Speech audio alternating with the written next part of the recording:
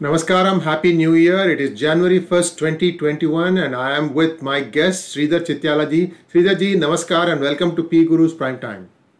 Namaskaram and good morning to all, and uh, happy English New Year 2021 to all of you, and uh, best wishes as we look forward and look ahead to get past uh, COVID 19.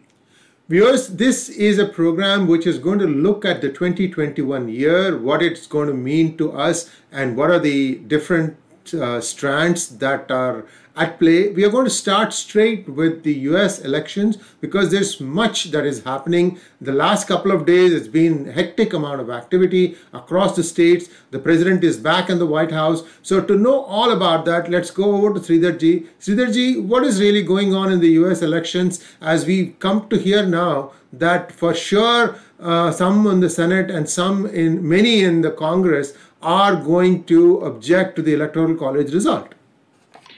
Great. I think, as they say, all roads lead to Rome, and here all roads lead to Washington, D.C.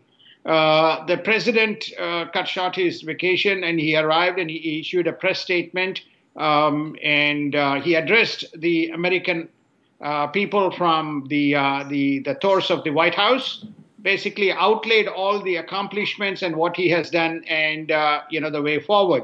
He also uh, galvanized his supporters and basically said, please come and uh, uh, support me on January 6th when the most important, uh, you know, electoral uh, vote counting takes place and the, the decisions are made. So there's more than already 1 to 1.25 million people expected to arrive in Washington, D.C. to reinforce the support. Adjacent to that, as you rightly pointed out, there's a series of activities that are going on.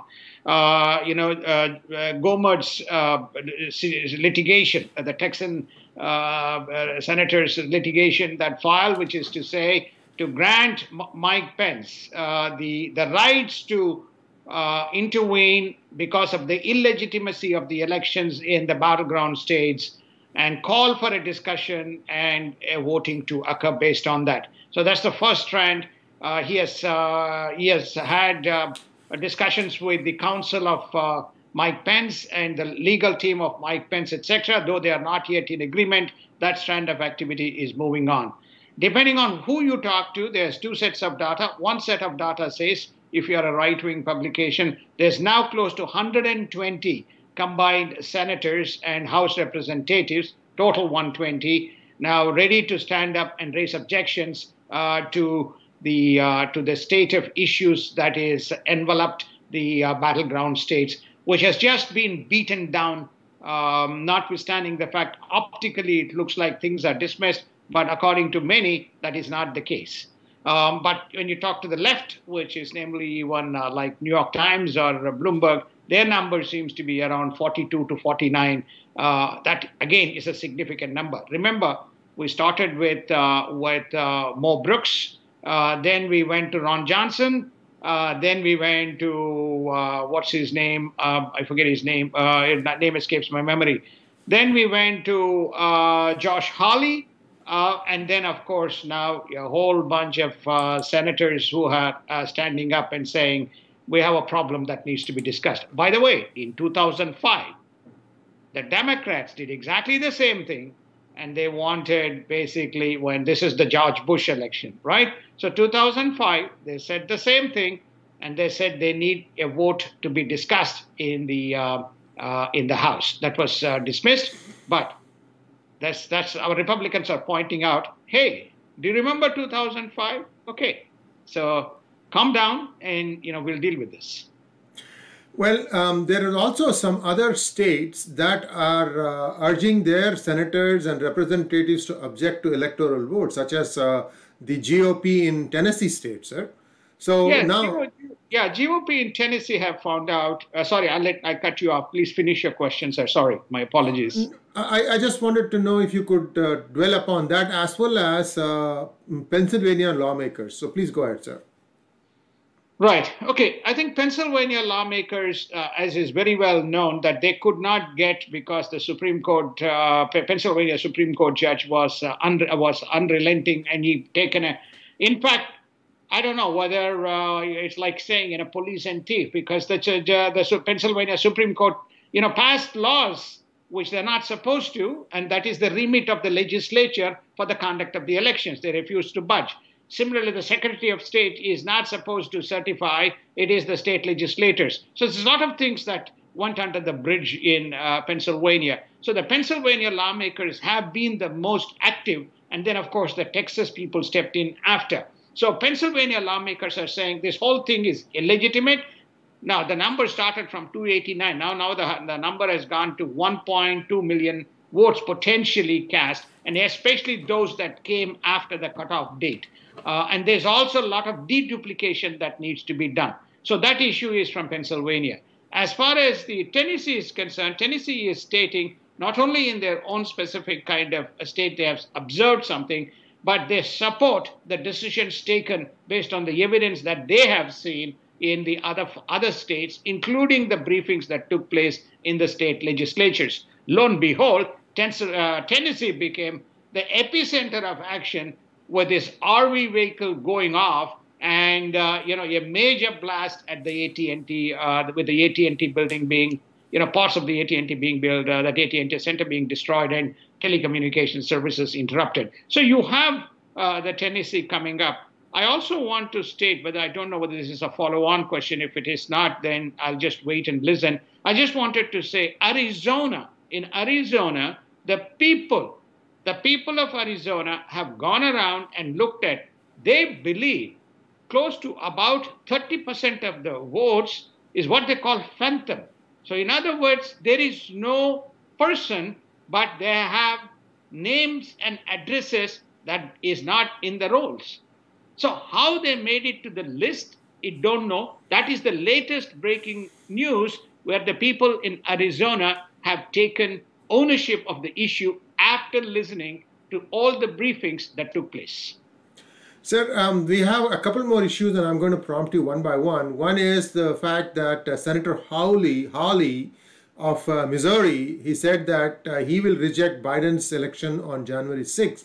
Because if you notice, see, there is a fair amount of confusion in the minds of people. They don't seem to be able to figure out who is doing what. For example, uh, you had Mitch McConnell uh, opposing Trump then he comes up with his own version of the bill, which sides with Trump, and he goes and uh, every line item of Trump, he says yes. So while McConnell and some senators and some uh, congressmen from Republican were saying no to the 2000 per head uh, handout, the Democrats are enthusiastically in favor of it. So what I'm trying to say is shifting positions on various things here, and, and, and people are a little confused who is with whom. So I'm hoping that by the time January 6th comes along, that there is better clarity. And I think all these people, the McConnells of the world, the uh, Bernie Sanders of the world, they need they owe the country an explanation as to how they keep taking these stands and then why do they change it and what prompts them to make these kinds of change. After all, these are senators, these are congressmen, they have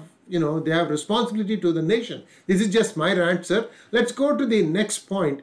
We have the Dominion CEO saying that the voting machines were never connected to the internet. And now it has been proven to be a lie, isn't it? Can you throw a little bit more light on that, sir? Well, I think the two people. One is the forensic evidence that was that was independently conducted, uh, independently conducted, proved that the machines were connected to the internet. So effectively, he has lied under oath. In a in a in a when a state legislature calls for an inquiry and is supposed to come and do the briefing, then it's upon upon, uh, it's according you know he has to swear by oath, take an oath, and then basically so effectively the message that is coming out is is, is effectively lied. There's, there are two states that are pointing out that the um, the uh, the voting machines were connected to the. Clearly, Georgia is one. The, potentially, there is also Michigan, uh, which is connected, which was also kind of connected to the um, connected to the um, uh, internet. But clearly, the one that is uh, that is popping up is um, uh, is um, uh, Georgia. Now, uh, Georgia, because there is a Senate election coming up in a couple of days. In fact, mail-in votes are already enabled for the past, I think, couple of weeks now um, it's it's going to be very interesting what is going to happen there how can one be sure that the elections this time around there are going to be free and fair of any kind of malpractice? Well, there is the, uh, uh, not Sidney, uh, uh the other lawyer. Lin Wood? Uh, yes, sorry, Lin Wood. Thank you. Thank you. Lin Wood has filed a case that in lieu of lack of changes, in lieu of the secretary of Georgia, uh, Raffensperger, especially after these voter ballots, voter address changes was turned down by a Supreme uh, by a High Court judge, local district High Court, uh, the uh, state judge, who happens to be the sister of Stacey Abrams from the Democratic Party, who is a Obama appointee. That doesn't mean that she is biased, but obviously she has taken a position that it is okay. That's one is okay. And the second one is the second issue around in Georgia is that there's drop, ball, drop boxes to be kept open 24 hours, which is not very easy to guard. They said, you know, it has to be limited. So these basically, uh, so um, Lin Wood has stated the state elections should be deferred until the electoral process has been agreed to and any deficiencies such as this deduplication process, the validity of the voting machines, the integrity of the conduct of the elections, especially whether it is open to internet, not internet, the counting process, which was also subject to a lot of controversy in Georgia, is addressed. Uh, the runoff elections, which is critical to the future of the United States, has to be deferred. That's the case.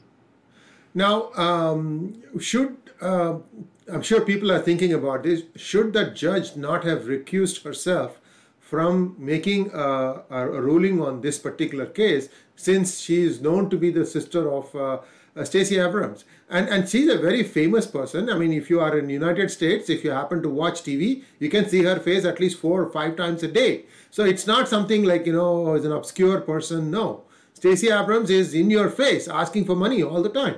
Anyway, this is just my observation, sir. And uh, anyone well, who wants to. Uh, it's a very good point that you raised because they did ask her to recluse, but she, she refused.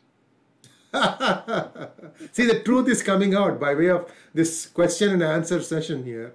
And uh, so, viewers, you have to understand that this is an election that is not one fair and square. And this is going to be hanging over Biden's head, Kamala Harris's head. By the way, sir, has she resigned her Senate seat? Yes, she has. Okay. So that have not, I think we covered this in my. I think it's Padilla or someone. One oh, Jose Padilla is now the new uh, person. Right, right, right. Okay, good, good. So at least that is out of the way. And uh, the next question or next observation that I have, sir, is the uh, the Democrats' contempt for military votes is visible in swing states that almost 93% of the votes were stolen and allotted to Biden. I mean, this is this is bizarre. How did someone make this connection, sir? Well, I think there are independent people-based investigations are going on. Now, many of the data can, you know, if you're a Democrat, right? Let's assume that we have to see that position. There will be quite a few Democrats in the PGurus audience who would be refuting each of this, you know, to say, what are these two guys, Sri and Sri, talking about?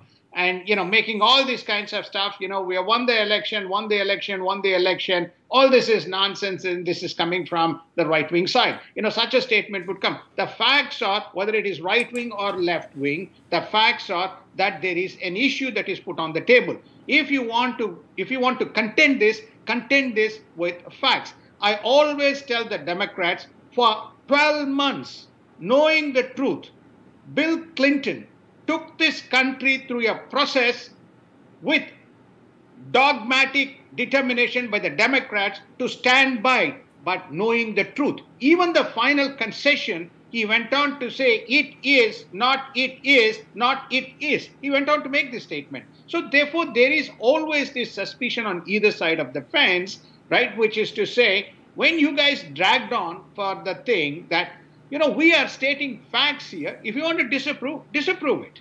Okay, but don't kind of be dismissive because the election is contentious. So this 93%, which has been, um, you know, the military votes, which has been assessed by uh, the whole bunch of people, and it's across, you know, all these, many of these things are in, you know, embedded. Nevada is one, Pennsylvania is one. These are all the army states they find that these votes may have been allocated. Mind you, there's two sets of there's a Navarro investigation that has happened. There is independent state investigation that has happened. Then there is the John Lott uh, investigation that has happened. So there's a whole series of investigation, and then there is the legal. Uh, the the Trump team uh, legal investigation, then Sidney Powell's team investigation that has happened. So there's a whole set of activity that has happened, right? So the people who know the truth know the truth the people who don't know the truth have to discover it and make a case. Unless and until it is proven, it remains what it is on either side. So this 93% is a very compelling number. This is one of the things that is also pointed out uh, in that Lott's report. So now let us take a quick look at uh, the markets of 2021. In particular, I wanted you to touch upon the spectacular performance of Bitcoin in uh, 2020.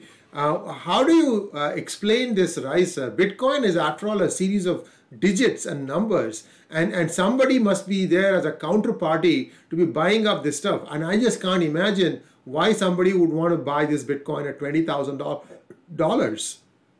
look, I'm in markets. I'm deep in markets. I'm not going to give all the secrets away in the show. Okay, uh, so therefore, I'll give you a very generic answer, which is to state that there was a lot of institutional interest, institutional interest in buying. Uh, especially in the last uh, you know few months, uh, you know the institutional invest began to grow, and so there's many institutional investors who have come in and taken position. Number one, number two, um, the China, uh, China global, China United States trade remains a kind of a big, uh, uh, you know, a, a, big issue and big contentious point, right? So always when you have, then you go for a hedge. That's number two. Number three, those who are playing in the interest rate markets, you know, subtly we have been covering. Every day we put up why we put up a 10-year bond and why we put up a 30-year bond rate. So there's a method behind the madness as to why we put the numbers. So if you can understand those numbers, those numbers have been coming down quite steadily. So you need an alternate venue uh, and what's the venue? Historically, oil and gold. You look at the oil, again, every day we put up that number. So the story is, and every day we have started to put to some extent the gold number, though we put the crude, we put the rates, and we put the Bitcoin, right? So that gives you some indication. This, this bits and pieces of numbers that you call has suddenly attracted interest, not as a currency, but as a hedge commodity potentially to play around to find alternative venues to deploy capital. That's how I kind of see it. Also, in the event of a major catastrophe, you need something that is not linked to dollar, which is depreciating, not linked to renminbi, and not linked to EU. There's no other currency. These are the only three. I'm not counting yen here because this yen has not, not enough depth uh, for it to cover. Well, if only India had made its currency uh, completely, uh, what do you call that thing? Uh, uh delisted. Uh, delisted, uh, completely allowed it to float in the market. then that would be a compelling currency at this point of time because people would say for the exact reasons that you mentioned the money that is chasing bitcoins could be buying up rupees because india is seen as a growth spot. And and we we in India we don't want to make our uh, currency float. And we just keep this uh, nonsensical thing called weights and put put your currency against that. Nobody will tell you what is the weightage. People will be quietly changing the weights. And and all we know is that lo and behold it's 73 rupees to a dollar. Can anyone explain why? No and, and anyway, I'll, I can go on this rant for a long time. This is the point here is that this money that is going into Bitcoin could have been going into India. For that, India has to do nothing but let their currency float. Of course, there are a lot of people in the finance ministry allegedly who have taken positions against a falling rupee, which will hurt them. Come on now, they are supposed to set down the laws, not play the market. Anyway, this is just my allegation. I could be wrong. Um, let's take a quick look at the markets in general. How do you see markets uh, reacting in 2021? Certainly, the markets had a great year last year. How, how do things appear this year, sir? Well, I think there are two answers to that question. One answer to the question is what I call as the uh, Biden headwinds or Trump's uh, tailwinds, depending on which one. The markets are expected to do quite well on the back of uh, a 5% growth in the GDP. We have not seen 5% growth in GDP for a long time. The Fed forecast is 4.2% GDP, whereas the, uh, the uh, Goldman Sachs re-amended it uh, to 5%, and 5% is very much kind of re- uh, reflective because 900 billion dollars went in right? When fed projected it was you know it had not had that 900 but he expected some stimulus but it's on the back of 120 billion dollars per month of the the purchases that they had uh, agreed to which is extra 1.4 trillion 44 trillion dollars of liquidity available to uh, mid corporates and large corporates uh, via the the fed window uh, through the through their banking system. So I expect if the policies continue, the present policies of uh, Trump continue, which will not be the case under the Biden, then I expect the uh, the markets to do well. Uh, the general prediction in the markets is that you know it's expected to be about nine to nine to eleven percent growth in the markets. We may see again another uh, stellar S and P performance. Uh, you know, we we touch twenty nine percent. We won't touch twenty nine percent uh, in in what we did in 2019. We touched 16.3% with the S&P growing again uh, and on the last day of the trading on December 31st. So I expect S&P to be around that you know uh, 12 to 15% growth. Uh, because the reason is a lot of the growth has already occurred, and most of the growth came from, you know, about 10 companies and you know, or 10 uh, institutions the tech companies, the biotech companies, pharma companies, and semiconductor companies, you know, these are the guys who drove uh, the, the market. Your famous NVIDIA is in one of those uh, 10, uh, 10 companies that drove the not only the market cap but also the valuation uh, in the S&P numbers. Let me ask you a hypothetical question, sir. FAANG, Facebook, Apple, Amazon, Netflix, and Google these are the ones that are weighted heavily in S&P. Some of them are also in the Dow. Some of them are also in the Nasdaq. And all these things are looking really good because of these and per perhaps plus Nvidia and a few uh, tech, uh, bio companies. Now, Section 230, if that were to go, wouldn't these stocks take a beating? No. The answer is no. Because one is political the other is economic. The revenue of Facebook and Google comes from advertising. Actually, elimination of Section 230 may really help them uh, to, to accelerate the ad revenue because quite a few of the ad revenues, when this political interference came, came in, they stood out. They may go back in uh, go back in. Rem- remember this: ad revenue, ad goes in when on the supply side, supply side there's liquidity available. Ad revenue goes in when on the demand side there is consumption. The demand side, the consumption is driven by the stimulus that is going into the hands and pockets of the people. On the supply side, the liquidity is available. The Fed is saying, I'm keeping the interest rates zero. The cost of your borrowing in the market is not more than 1.25%. Just to give you the numbers, the interest rates in 2020, the 10 year interest rates dipped from 1.7% to 0.7. We track this and we also track 0. to 0.9%, right? 0.93. So the interest rates, the cost of borrowing to the corporations is less. Second, there is also the Fed window that has been opened, plus there is also for the small businesses $325 billion of cash that is being infused to support the small businesses.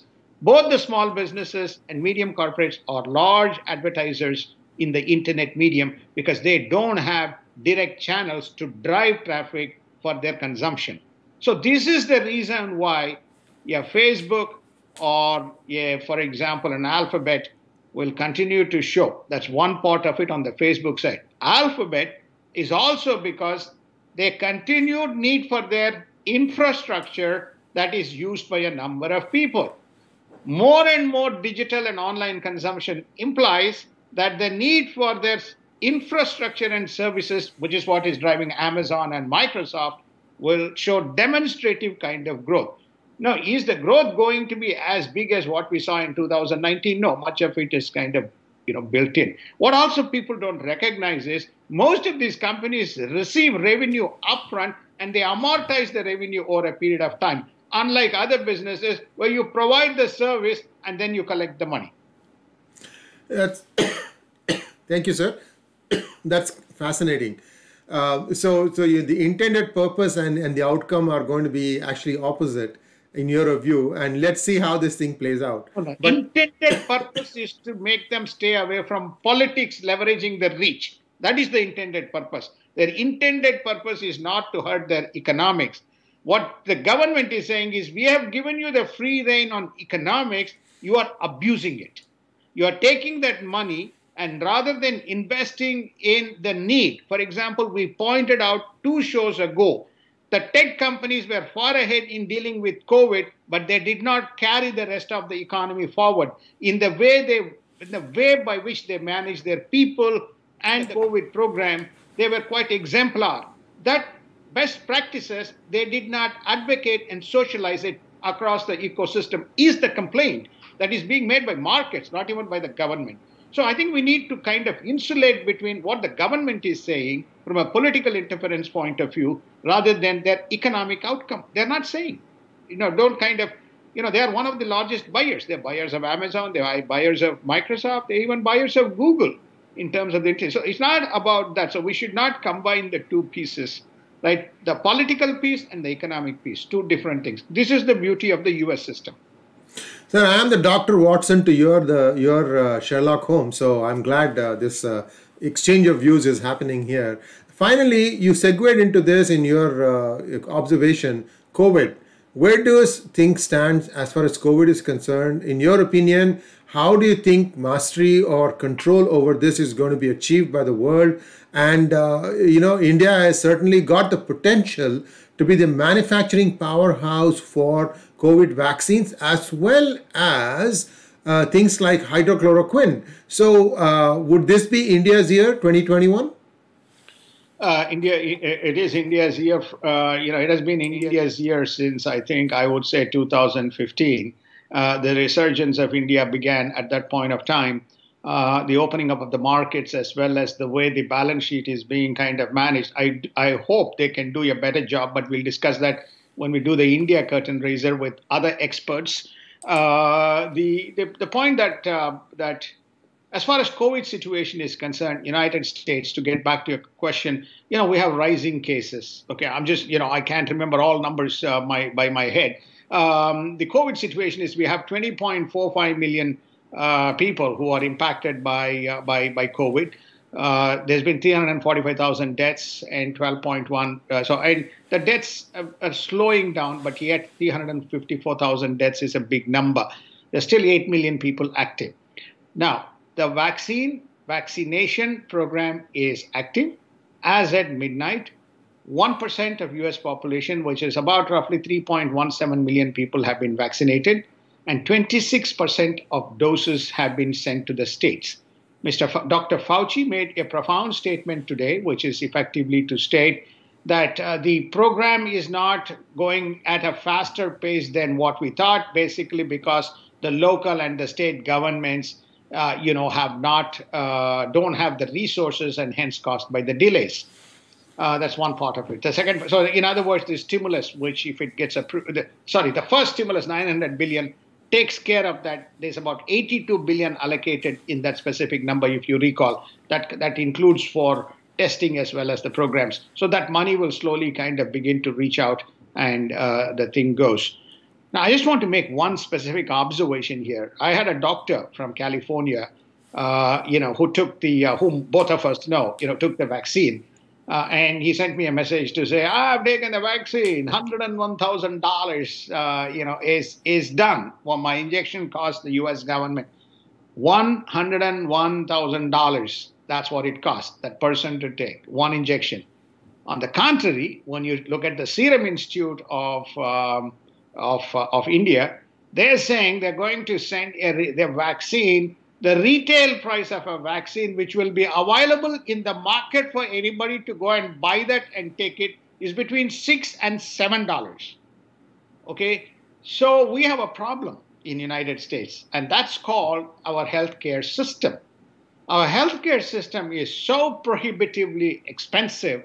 The cost of medication and the cost of treating people is humongous. That is why Russia says I will go to India and get my Sputniks manufactured in India. I will go, Germany says the same BioNTech. I'll go to G- India, get that manufactured and bring it back. AstraZeneca Oxford partnership, they're going to. So the question that is therefore open is can you be a disruptive to take your own industry to and to leverage there is this emotive and sentimental issue that then pops up. Hey, we did this and we lost all of our pants and shirts when we went to China. We lost all of our manufacturing and we have nothing left. So there is this emotive decision. So the question that is propped up or that opens up is, you know, what is that going to be? You know, hydroxychloroquine, you mentioned hydroxychloroquine is what, 75 cents or $1. You know, the retail here is, you know, is, is more than that. Now, could that have helped? The answer is, you know, I'm not a doctor, but people tell me that could have helped. Right. So the story is that as far as the COVID is concerned, we have an issue around the healthcare system. As far as the program is concerned, as we roll, as we look ahead in terms of 2020, this is one of the other headwinds that United States. In fact, it's the top head. Political headwind is the number one. COVID headwind is number two whatever is the economic measures that are going to be put in place. So, in other words, Biden said he's going to borrow four more trillion dollars or he's going to impose five more trillion dollars on high income taxes. Never in the world taxing an economy has allowed economy to grow. Only when you cut taxes you have seen economy to kind of grow. So therefore on the economic side, whatever happens on the political, if there's new taxes and if there is new stimulus, that means you're doing both. That means you're squeezing the person on the other side. I told you both on the demand side and the supply side, if you don't manage that properly, you're going to have an economic kind of outlier that is going to be an impediment. So, similarly, in the COVID situation, they're going to need more money to vaccinate the rest of the nation to cover the full 300 million people. And you have to overcome, we have not seen all the side effects that flow on from these vaccines, how the emotive issue of that and how the treatment of that needs to occur over that period of time. The local and state governments are a fundamental kind of pivots in making this happen. Is this going to be political again between the red states and the blue states? Because I have a blue state president or I have a red state president, so I'm going to oppose whatever the, the guy at the other, other end says. So these are things that United States will grapple as we try to get out of the COVID situation. Thank you very much, uh, Sridharji. And uh, we come to an end of our program today. Please like, subscribe our program, watch it till the end because we are trying to provide you with some very useful information. And, and viewers, here's the request do not use profanity or expletive ridden comments. We will be forced to delete them because uh, uh, channels like YouTube and Facebook do not encourage and we get penalized for your observation and your observation should be on the facts of what we are revealing not on some uh, uh, comments that are just essentially blather and uh, uh, of a personal nature. So please don't do that. And also, uh, viewers, we'll be back again on Monday the 3rd at 5 a.m. Pacific, 8 a.m. Eastern, and 6.30 p.m. Indian Standard Time. Thank you once again, uh, ji, and namaskar. And we'll be back. See you soon. Thank you, Ji. Thank you.